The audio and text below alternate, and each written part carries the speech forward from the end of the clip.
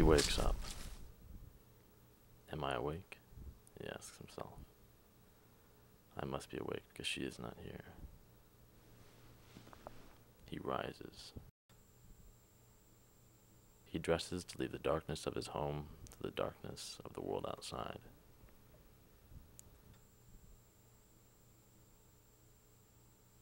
Always dark. For years it has been this way. He rises at dark to go to work in the dark, in the soundproof, lightproof room where people come to watch stories made of light that play out on silver screens.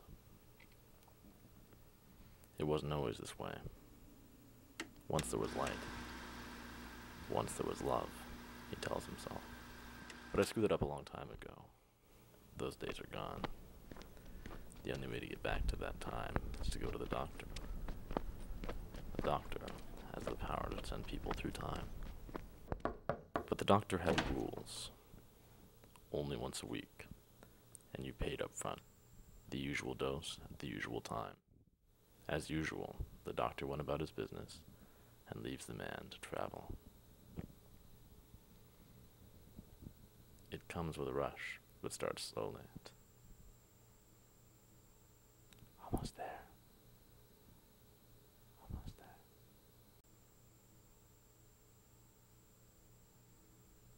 He, remembers a day when he and this woman who haunts his dreams went out west.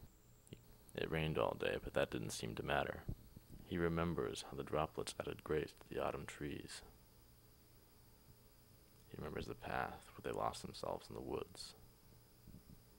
He relives all of these things without her. Home, the cave where he sleeps. How long had it been since the light was on? He doesn't know.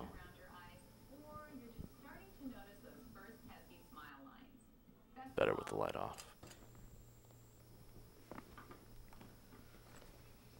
Back to work. How long had he lived like this? Endless night in the dark theater or abandoned streets. Without her, time had no meaning. I have to go back. I have to go back. I have to go back.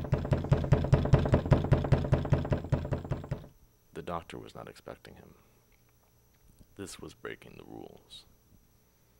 He pleaded. He said that he was the doctor's best client for years. This was true. He could pay, he wanted a bigger dose. This the doctor didn't like, but he eventually agreed. Just this once.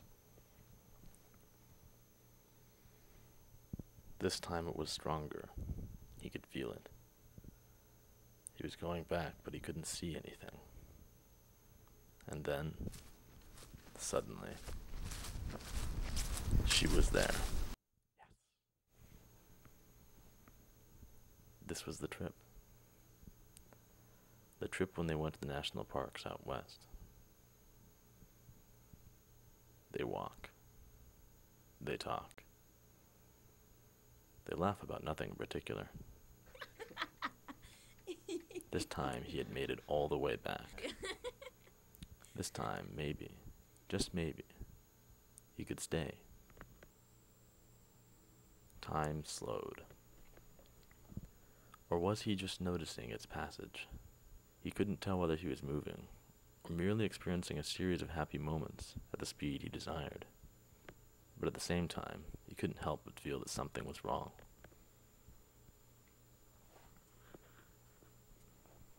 Cartwheels in the wet leaves. Wake up! Wake up! No. Not now. He would not leave this moment for the dark future he knew awaited. He wasn't going back. He couldn't. He had already left.